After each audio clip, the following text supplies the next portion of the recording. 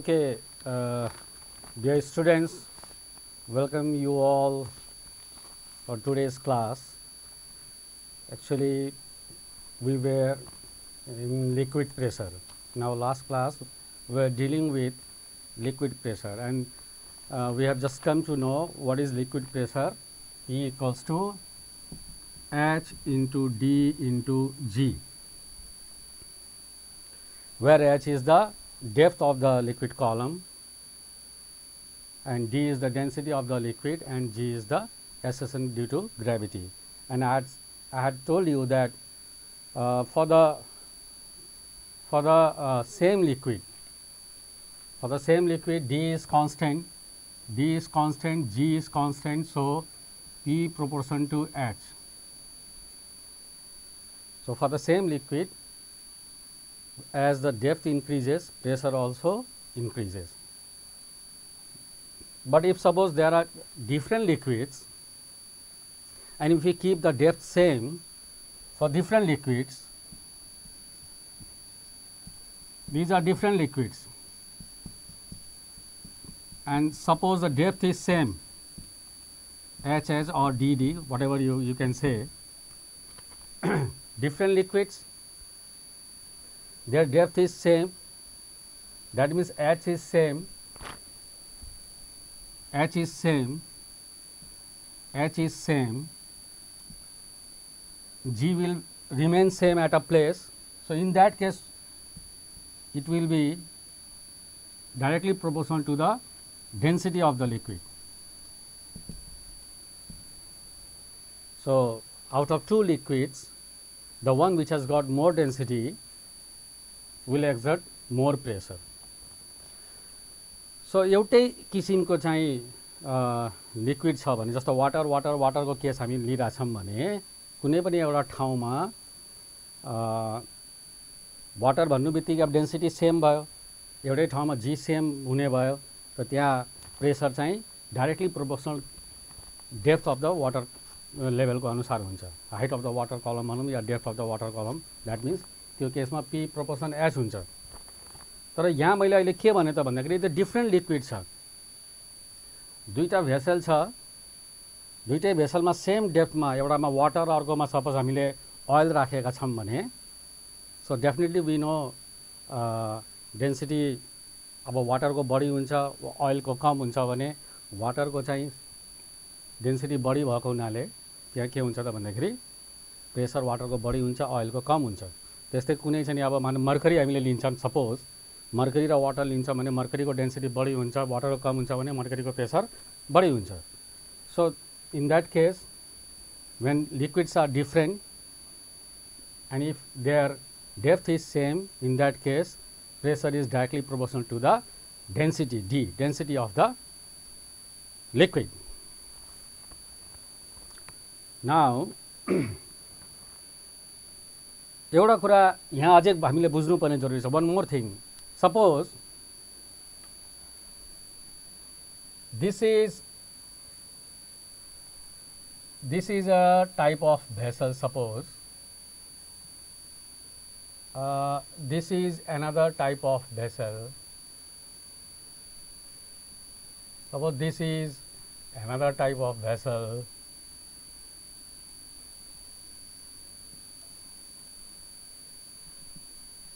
if you will see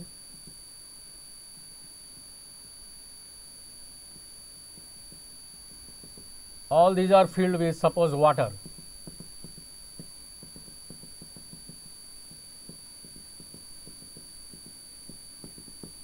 One more you can take suppose this one.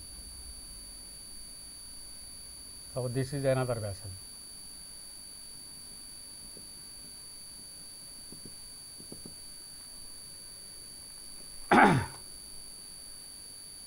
this H is same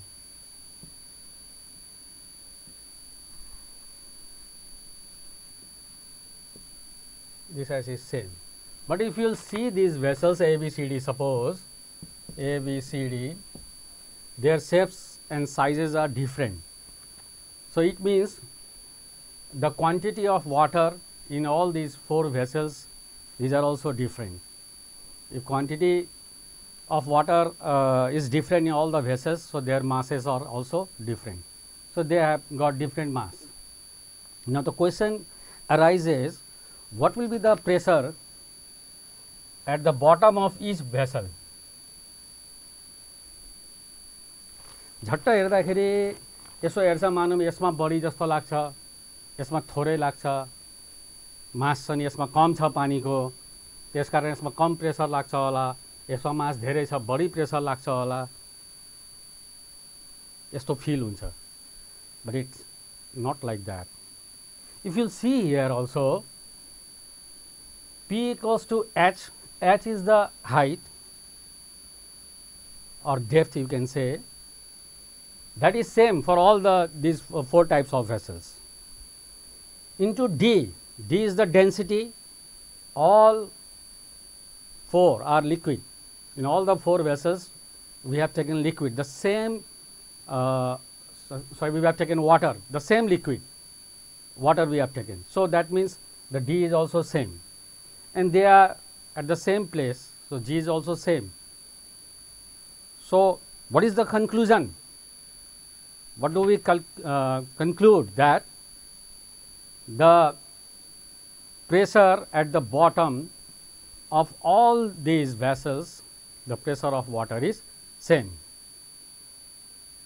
So, it does not depend upon the mass.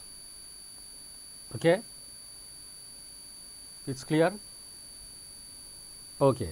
Now, let me move ahead. By using this formula,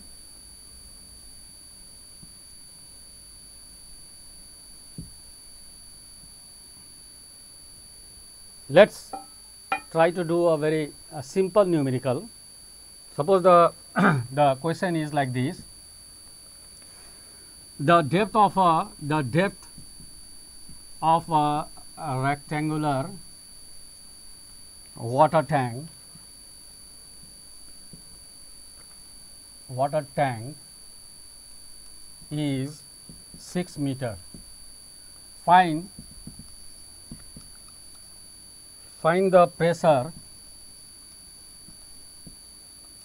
exerted by water at its bottom.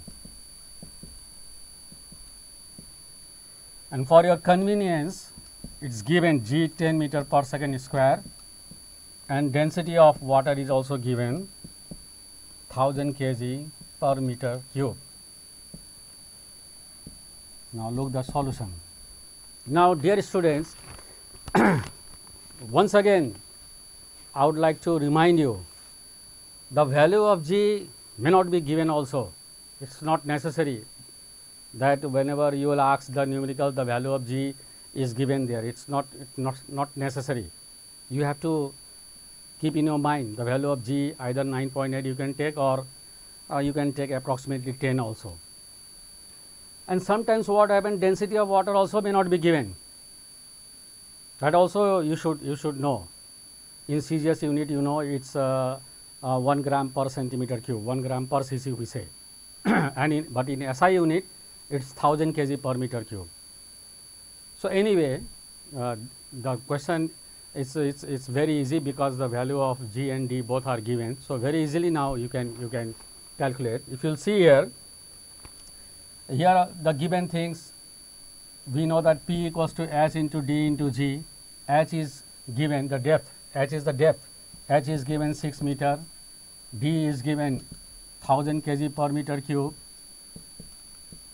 And G is G is given 10 meter per second square. So, pressure will be all the units are in SI. So, no problem. 6 into 1000 into 10 this much Pascal because SI unit of pressure is Pascal and it will be 6 into 10 to the power 4 6 1000 into 10 3010 10 to the power 4 Pascal. So, this is very simple uh, numerical, but I have given you few things you have to be very much careful. First thing these two value may not be given. Second thing sometimes it, it may be given uh, in meter per second square it is given here it may be um, gram per centimeter cube, one, 1 gram per centimeter cube. So, if you write here 1 in this formula and you write if you write here 1 and 60 Pascal that will be wrong. So, 1 gram per centimeter cube sometimes it is given. So, you have to convert that into uh, kg per meter cube. I will show you because I have seen students committing mistake. Uh, density of water is given 1 gram per cc like that cubic centimeter.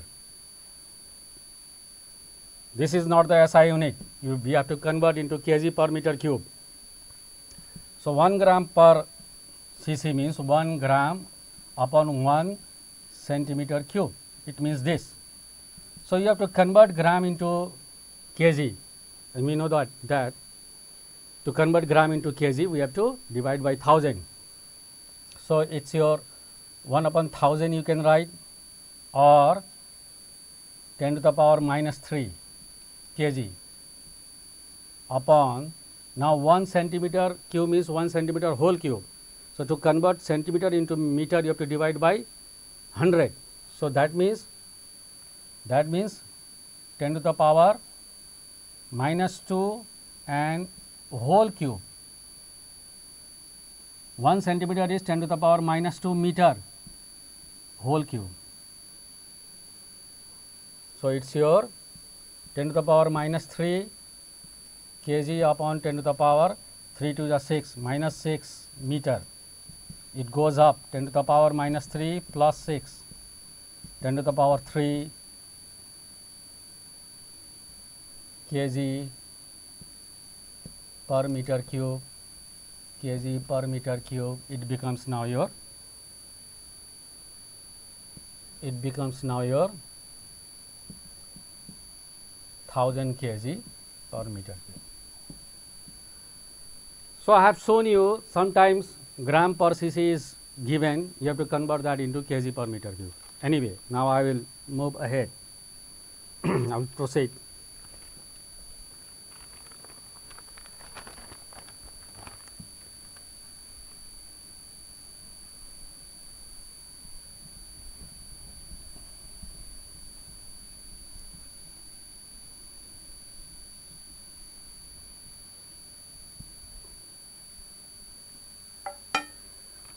Now, in this chapter the very important and as well as very interesting principle is or law is Pascal's law. Pascal's law.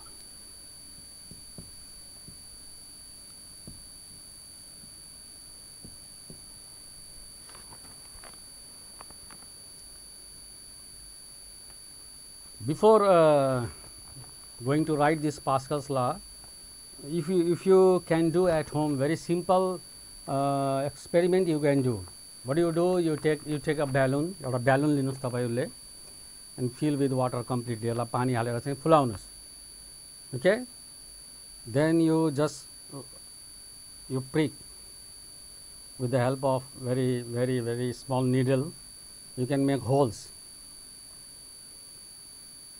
okay now you just try if you press at one point from all the holes water will come out with the equal equal pressure यसलाई हामीले यो experiment गरेर हेऱ्यौँ भने suppose यो balloon जब हाम्रो फुलिहाल्छ with water अनि यसलाई हामीले यहाँ टाई गर्दैछौँ and we can may we can make holes at at different different places if you squeeze or if you press at any point one point then you will you will see water will come out with the same pressure from from all the holes.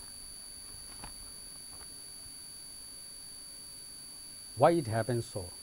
Another another thing suppose you you take a vessel like this and you just suppose fill water.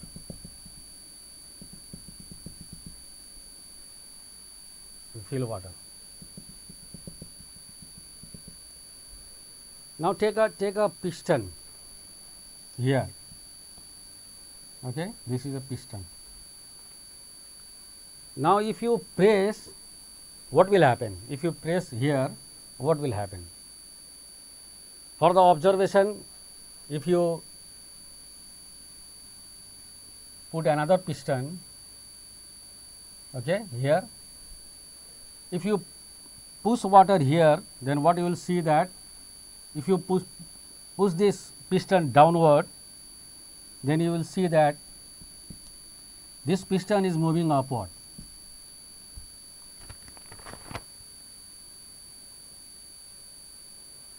Now, the question arises in, in, in our mind how it happens. So, the answer we get in Pascal's law. The answer was given by Pascal's law uh, in in uh, yeah in 17th century. In 1647 AD, uh, he was the French physicist. Okay, pascal Blaise Pascal उहाँले यो दिनुभएको ल हो यो लले के भन्छ भन्दाखेरि what is the Pascal's law? It states that the pressure the pressure exerted anywhere in a confined liquid confined liquid is transmitted is transmitted equally and undiminished in all directions throughout the liquid throughout the liquid.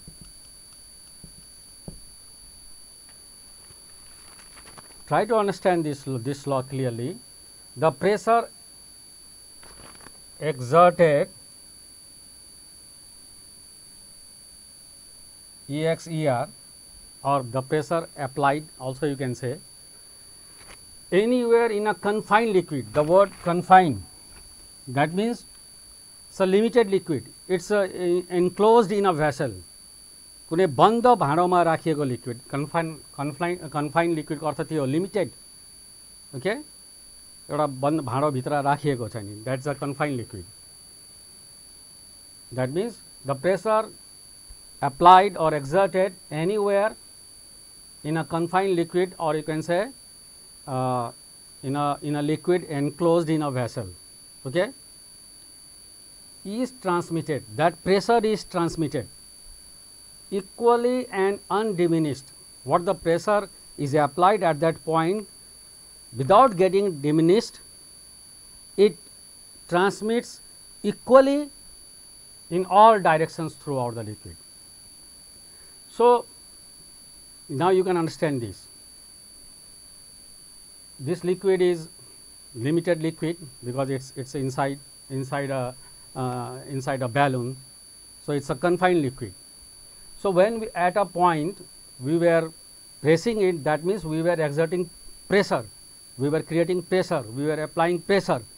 That pressure was equally transmitted in all directions without getting diminished so, that is why water through all the holes they were coming out with the same pressure.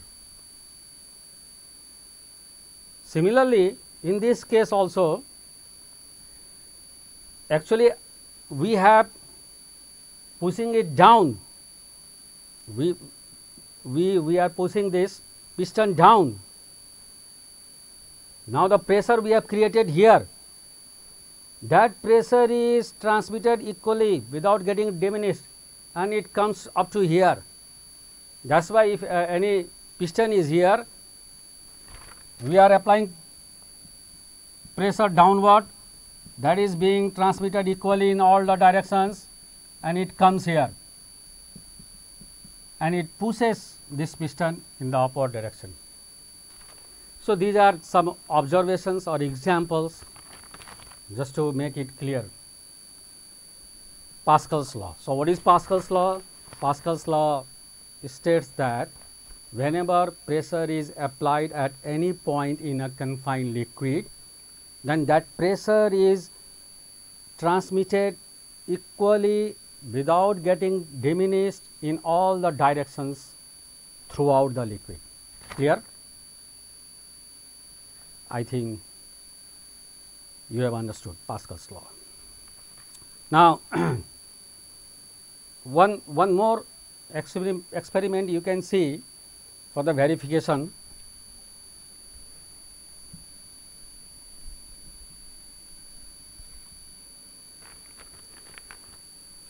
So, vessel a, uh, a uh, vessel is like this suppose.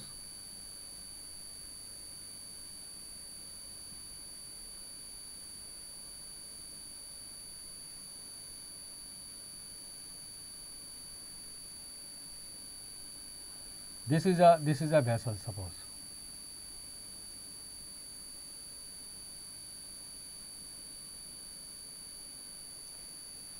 All these areas or suppose they are these are the pistons suppose.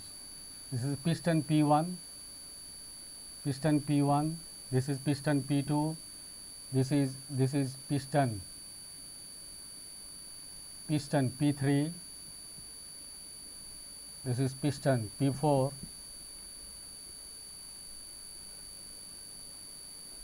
this is a vessel. You can see four openings and pistons are fitted here and all the pistons are of same area okay equal area. Now if in, in any one piston suppose in piston p1 if you apply a force f downward and sorry it, it is it is filled with sorry is filled with water. So this liquid is confined liquid because it is inside this vessel okay. There are four openings they all are connected with the pistons. And all the pistons are of same area. Area is same. Suppose a a a a. Area of all the pistons are same. Now if you push it downward if you push piston p1 downward with a force f suppose what will we uh, observe? What will be our observation we will see that piston P1 is being pushed downward.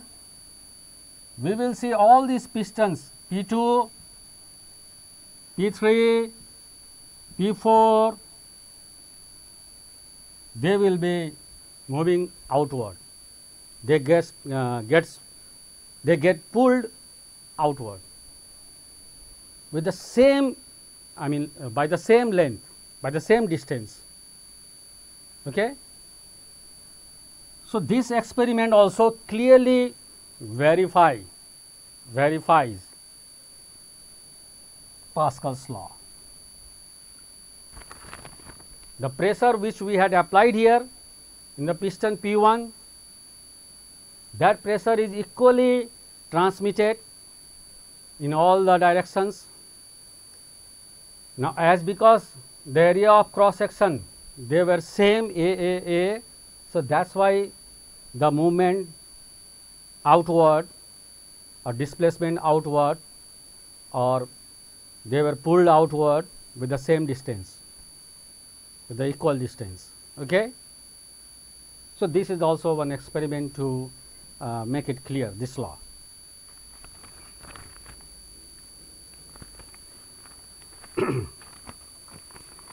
now,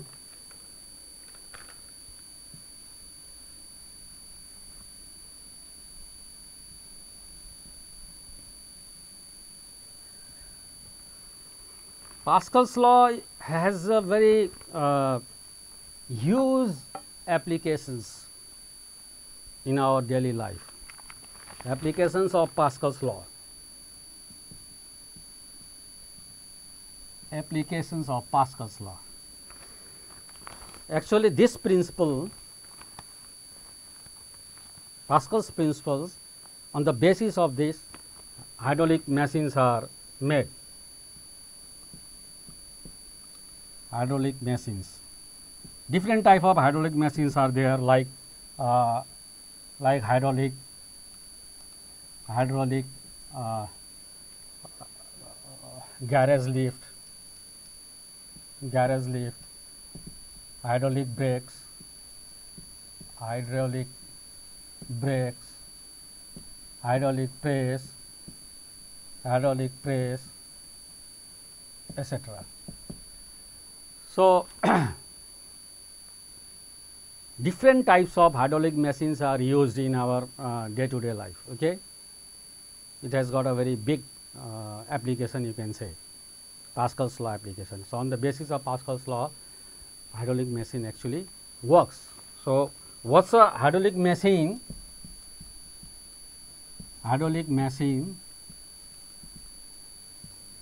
it is a machine hydraulic machine is a machine which works on the basis of Pascal's law or which works on the principle of Pascal's law. And what is its main use? Its main use to just magnify the force. That means, by applying less effort, we can uh, we can uh, uh, lift heavier loads or we can perform uh, we withhold the heavier loads. So, in other words, we can say hydraulic machine, it is a machine, it is a machine uh, which works. Which works under the under the principle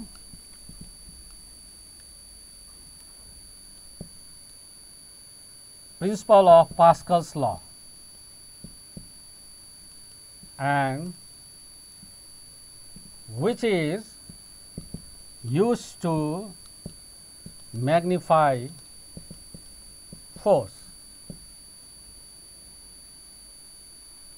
by applying less effort uh, we can we can overcome a larger force it means magnifying force means by applying less effort we can overcome larger force. How it works? Very simple its construction let us try to understand hydraulic machines.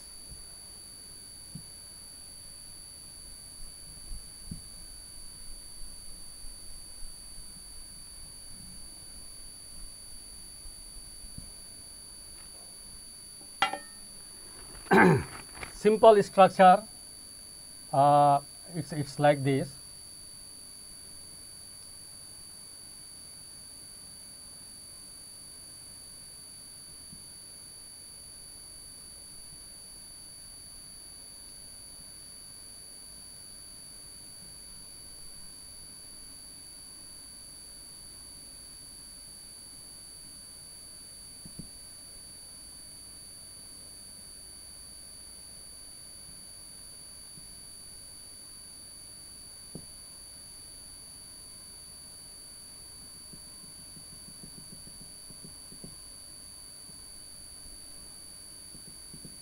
So, you can see two tubes like this A 1 and A 2 and they are connected with this with this tube horizontal tube. This is a horizontal tube. Two tubes A 1 A 2 of different cross section A 1 is smaller a2 it's it's a larger cross sectional area. And these two tubes are connected with a horizontal tube okay? Now in your smaller uh, in, in the tube, tube having the smaller area suppose this is the piston.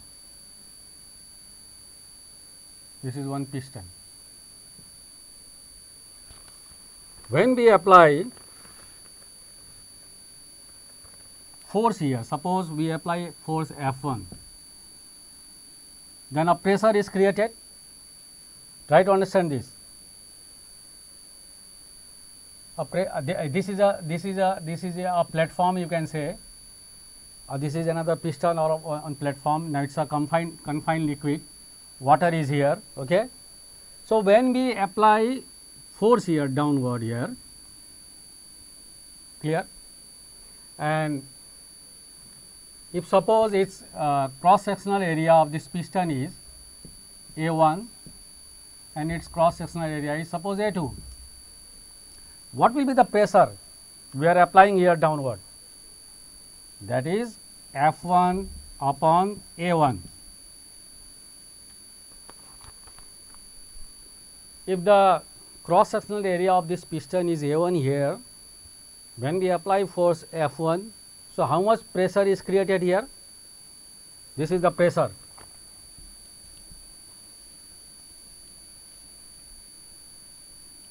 Pressure, okay? It's here in the smaller piston, it's F 1 upon A 1. Now, what does Pascal's principle say, Pascal's law say? That this pressure without getting diminished, it is being transferred, it is being transmitted to everywhere in this liquid. So, this is acting downward that is going without getting diminished it will act here this pressure will act here. Okay. Now, its area is A 2. Now, just think how much force can be overcome here on this larger piston. Suppose that is F 2, this is the load one load, load is a force. Suppose F 2 load or F 2 force can be uplifted, can be lifted up.